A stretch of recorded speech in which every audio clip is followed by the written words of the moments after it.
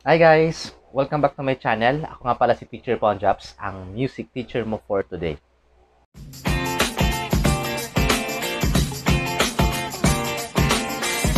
So tapos na tayo guys sa string family, sa woodwind family, and the brass family. Na kung hindi nyo pa sila napapanood, bantayan nyo lang po sa may itaas, sa may suggestion link sa itaas, no, habang pinapanood itong video na ito. So lalabas po yan. So dyan nyo po babalikan. I-click nyo lang po yan tapos babalik kayo sa video na yon. Okay, at huwag kalimutan mag-subscribe sa akin channel para ma-notified kayo sa mga videos na ipopost ko. So today's lesson guys is all about the fourth family of instruments sa Western Orchestra. Ito ay ang percussion.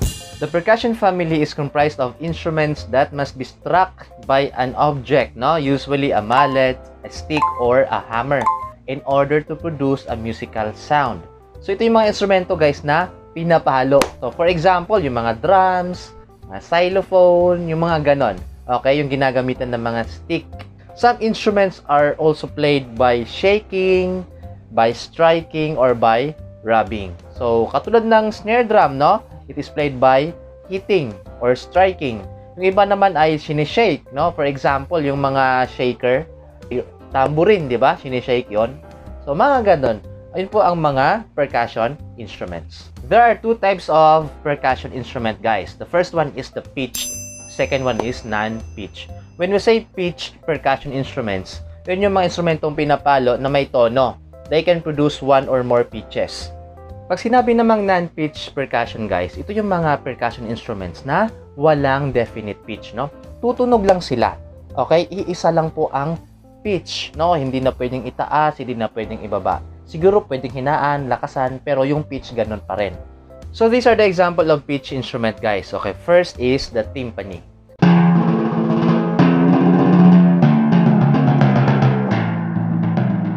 The timpani is a single drum head that has definite pitch. It is usually in pairs and its sound is produced by striking its drum head with a mallet. Okay, parang drum lang din na pinapalo. Okay, now, paano siya nakakapag-produce ng more pitches? So kung napapansin nyo guys, yung parang footrest dyan sa instrumentong yan, ayan, pag inapakan mo kasi yan, okay, hihigpit or mababanat yung drum head. So tataas yung pitch. Okay, pag nirelease mo naman or ibinilik mo sa dati, luluwag yung drum head at bababa ang pitch. Ganun po ang pag-a-adjust ng pitch. So actually yung instrumentong yan, may guide yan eh kung anong gusto mong pitch, no? We have the C, D, E, no? Depende sa'yo. Kaya kailangan mo talagang practicein ang pag-apak, no? Para matimpla mo talaga kung anong pitch ang gusto mong marinig. Next example po sa pitch instrument ay ang xylophone.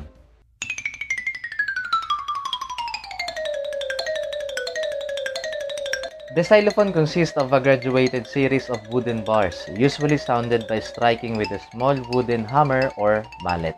Yan pala ang totoong itsura ng xylophone. Okay, so gawa siya sa kahoy guys. Yung mga bara niya, no, gawa sa kahoy. So, naka-arrange siya from longest bar to the smallest bar. So, alam naman natin, pagka medyo mahaba yung bar, medyo mababa yung pitch. No, kaya papatas ng papatas yung pitch niya. Pangatlong halimbawa guys ay ang glockenspiel.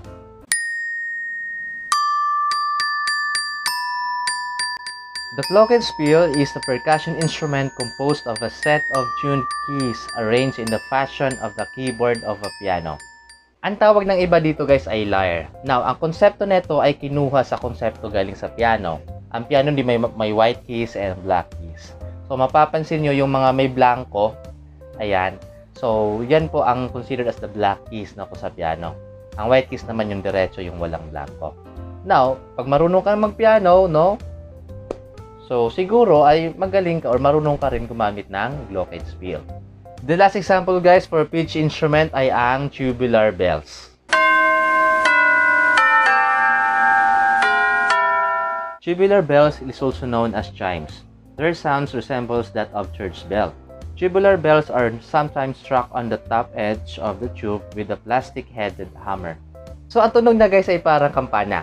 Okay, pero may iba't ibang tono. Kasi makikita naman natin iba't iba ang haba ng mga tubo na ginamit, no? Pag mahaba yung tubo, mas uh, mababa yung pitch. Pag ma- naiksi yung tubo, mataas yung pitch na inilalabas. Pero templado siya. Okay? Pumunta naman tayo sa non-pitch percussion instrument, guys. Okay, so ito yung mga instrumentong walang definite pitch. Okay? Now, first is the snare drum. The snare drum provides a rattling sound in a composition because of the metal wires attached diagonally at its bottom. So kung nakakita na kayo ng snare drum guys, okay, silipin nyo po sa ilalim, may strings po yan. Okay? Yun po yung magbibigay ng rattling sound, no? Lalagapak yan pagka pinalo mo yung head. Second non-pitch percussion instrument guys ay ang cymbals. Cymbals are pair of round plate-like instrument clasped together or played by striking them with a beater. So, yung cymbals na nasa picture guys ay katalasan nakikita natin yan sa mga marching bands. So, pinag-uumpog po yan dalawa okay, to create a sound. Now, may mga symbols din na iisa lang. So, for example, sa mga banda, no? Mga banda like, for example, Metallica, mga ganyan. So, may mga symbols doon na naka-stand, isa lang po yon. So, ginagamitan ng beater yon pinapalo para tumunog. Okay? Beater or stick. Another example guys, sa non-pitch percussion instrument ay ang triangle.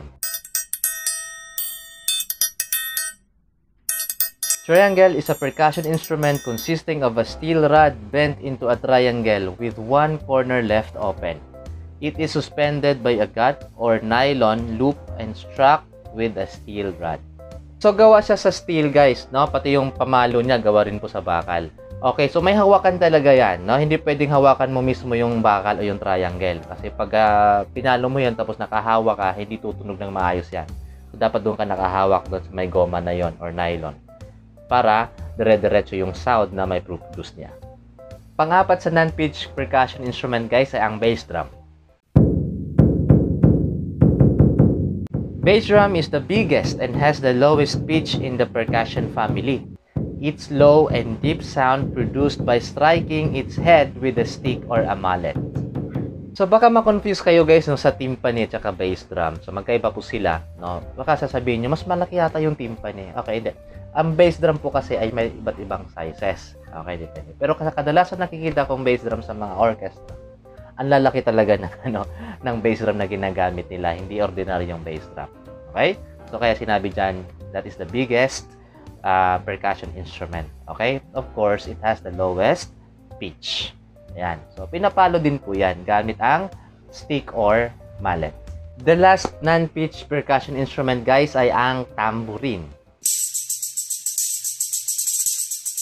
The tambourine is normally played with our bare hands and often has attached to its jingles, pellet bells, or snares. So naisip natin itong instrumentong ito during Christmas, di po ba?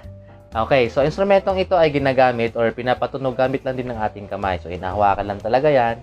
Tapos parang sinishake o inuuga-uga. Tapos pinapatama sa kamay. Yung iba naman ay ina-attach sa mga snare drum, no? May parang stand siya doon, naka-attach. So parang pag ano, ay mabilis lang i-reach. So, yun po guys ang percussion instruments na pitch and non-pitch. Okay, so maraming salamat po sa panonood. Sana ay may natutunan po kayo ngayon. At sa mga bago dyan, please huwag kalimutan mag-subscribe sa channel at pindutin ang notification bell para mag-notify sa inyo ang mga bago kong upload na video. At kung maaari po sana guys, pakishare po itong video sa mga classmates nyo no? o sa mga kakilala nyo na nangangailangan ng lesson na ito. Okay, so yun lang po sa ngayon guys. Maraming salamat po ulit at God bless.